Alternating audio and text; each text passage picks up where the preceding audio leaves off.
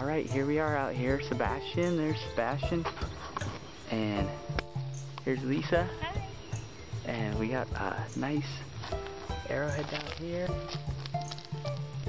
And I just found a chip right now while I was sitting down. Good job, buddy.